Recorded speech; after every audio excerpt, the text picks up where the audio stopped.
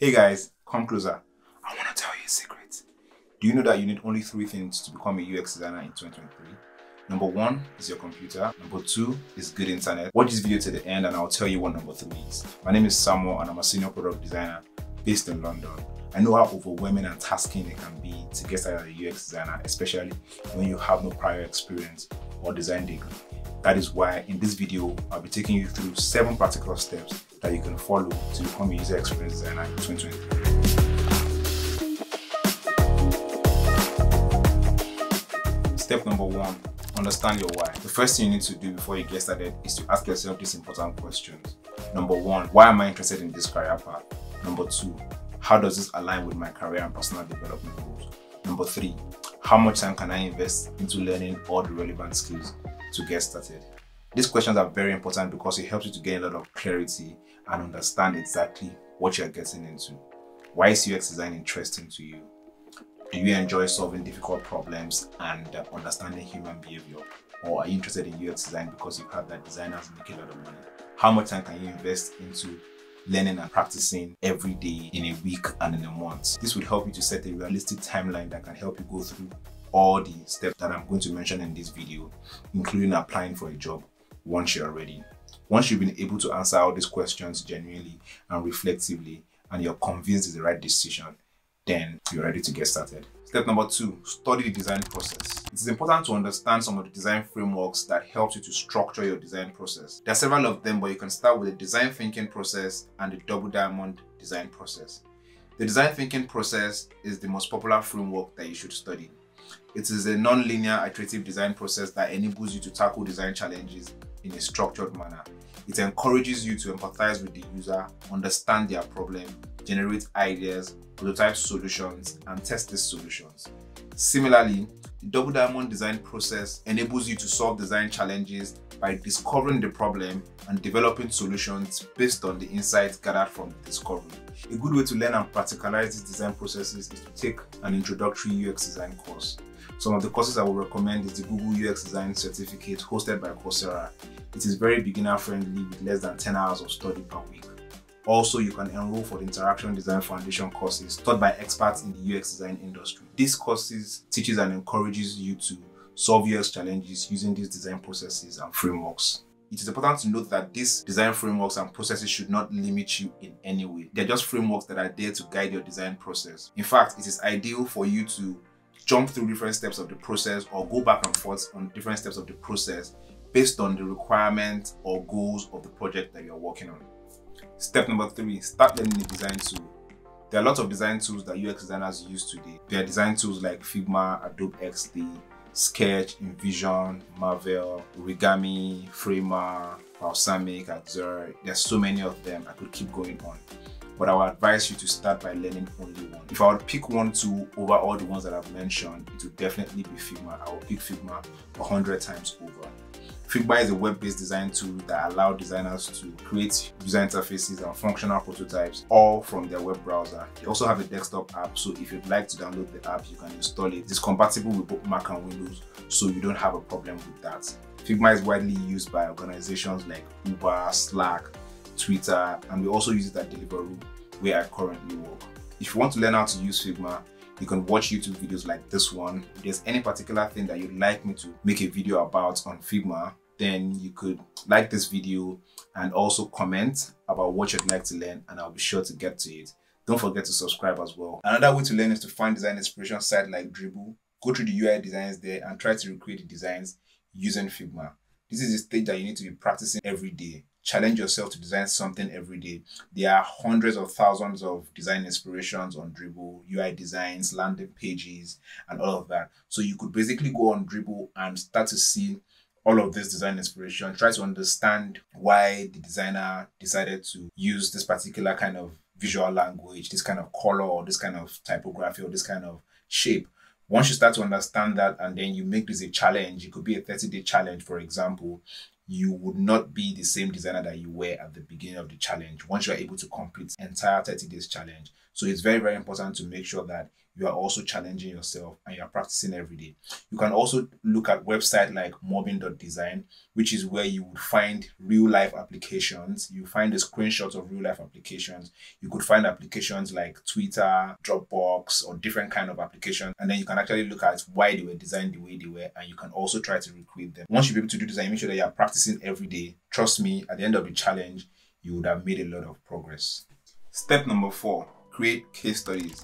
The next thing you need to do is to showcase your design and thought process using case studies. To do this, you need at least two case studies. You could redesign an existing mobile app or a website. And the thing is, you don't necessarily need to redesign the entire experience. You could just pick a section of the experience that actually interests you. For example, you could redesign the checkout experience of your favorite online store, or you could redesign the order experience of your favorite food delivery app. Make sure that whatever solutions you're preferring actually improves the experience and make sure that you're able to tell that story in your case study. Also, try to apply the learnings from the design frameworks that you have learned in step two. If you can't find any ideas on design challenges that you can take on to create these case studies, there are several design challenges online that you can look at. You can check out this website where you have different design challenges and you can pick anyone that interests you. I've added a link to the website in the description. Also, I've created a video on how to create case studies like a pro. You can check them out in the description as well. Step number five, show your work. This is one of the most impactful design books I've read. It is by an artist and author called Austin Kleon. In this book, he encourages creatives to share their work and he talks about the importance of sharing your work as a creative. The third section of the book encourages designers to share something small every day by sending out a daily dispatch. This helps you to get out of your comfort zone and expose your work to feedback, which is something you have to be comfortable with as a UX designer. You can start sharing everything you create from your challenge in step four. Another benefit of showing your work is it helps to put you out there so that you can meet amazing like-minded people like you people that are on the same journey with you or people that have even gone through that phase and are ready to give you advice or give you feedback on your work it's also important to make sure that you leverage design communities on platforms like Twitter, LinkedIn, Instagram, especially now that we have a lot of conversations going on around different industries on Twitter Spaces. On Twitter Spaces, you could see people talking about UX. These are the kind of things that you should be interested in. And these are the kind of places that you should actually share your work so that you can get feedback. Also, you can connect with mentors on platforms like ADP List. Once you get on this kind of platform, you are able to book mentorship sessions with senior designers that can give you feedback on your work, have portfolio reviews with you, or tell you about career development. Before you schedule these sessions or before you actually have these sessions, with these mentors, make sure that you already know what you want to discuss so that you don't get there and then you don't know exactly what you want to say. Step number six, create your resume and your portfolio. Your resume and your portfolio can be likened to your tickets and your passports that enables you to travel to holiday destinations. Without your ticket and your passport, then you're going to be stuck at the airport. This is why it's important for you to pay attention to how you put your resume and your portfolio together. Even though you don't have any prior design experience, you can emphasize the impact that you've had in your previous roles, how you've been able to solve problems, and how all the skills you've gathered along the way can make you a good fit for a UX design role. Your portfolio, on the other hand, is probably the most important personal project that you ever get to work on as a UX designer. Your portfolio should be visually appealing and recruiters and design managers should be able to navigate it easily. Your portfolio should house all the case studies that you've put together in step five. You can use drag and drop website tools like Wix or Squarespace for your portfolio website. It's best to have your portfolio on a portfolio website because recruiters and design managers always prefer it this way. That way they can assess your design skills and they can see how you're able to help them navigate the website. Also, it makes them take you serious. There are other tools that you can use for a portfolio as well. You can use Notion, you can use Behance, but I'll always advise that you use an actual portfolio website. You can find inspiration on portfolio websites on websites like Bestfolios. They have lots of portfolio websites that have been created by other designers and you can let this inspire you. I've also created a video on some portfolio websites that I think is interesting. You can check out the video. I have the link in the description. Step number seven, start applying for jobs. Now that you've put your resume and your portfolio together, it's time to start applying for jobs. Remember that the UX design industry is very competitive you have a lot of people to compete with, especially at the junior level. There are so many people coming fresh out of boot camps, out of design schools, out of university degrees, and even online courses. The pool is really, really large, so you need to stand out. How do you stand out?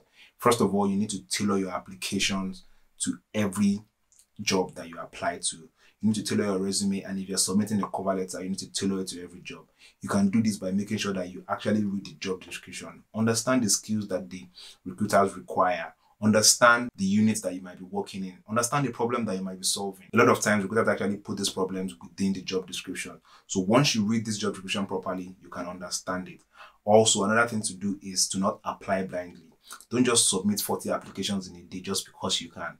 Instead, you could submit three applications in a day, but make sure that those three applications are applications that have been thoroughly thought about. You've actually read through the job description and you know what you're applying to. Don't be discouraged when you see that you don't meet all the requirements for the job. As long as you meet 50% of the requirement, then by all means you should apply. Another thing to do is to make sure that you are actually preparing for the interviews once you start applying. Don't wait to be called for an interview before you start preparing. UX design interviews can be very tricky. There can be questions around soft skills, around hard skills. There are so many things that you need to learn ahead of your interview. And since it's going to be your first series of UX interviews, you need to be prepared. This is when you need to reach out to the mentors that you've met in step five. Start to ask them about advice on how to approach UX design interviews. You also need to research about the company properly. When you're at the interview, make sure that you are asking questions. You answer their questions, and when it's time to ask a question as well, make sure that you're asking important questions. Interviewers always like it when candidates ask them important questions in the interview.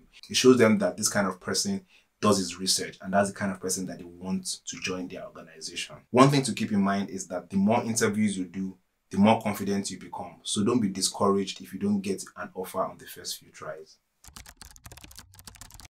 At the beginning of this video, I spoke about needing three things to become a UX designer in 2023. So far, all the steps I've covered can be achieved and practicalized with your computer and good internet. Now, the third thing you need is a strong mindset. You can't afford to give up because you feel like you're not making any progress. This is a marathon and not a sprint. Remember why you started in step one and keep your eyes on the goal. Ideally, you should be able to cover all these steps in three to six months. If you're a very busy person, you can be less aggressive about the timeline. That will be all for today's video. If you enjoyed watching this, you can also check out the video I made on common mistakes that beginner UX designers make. Don't forget to like this video, subscribe to my channel for more videos like this, and share this video with your friends. I'll see you in the next one. Bye.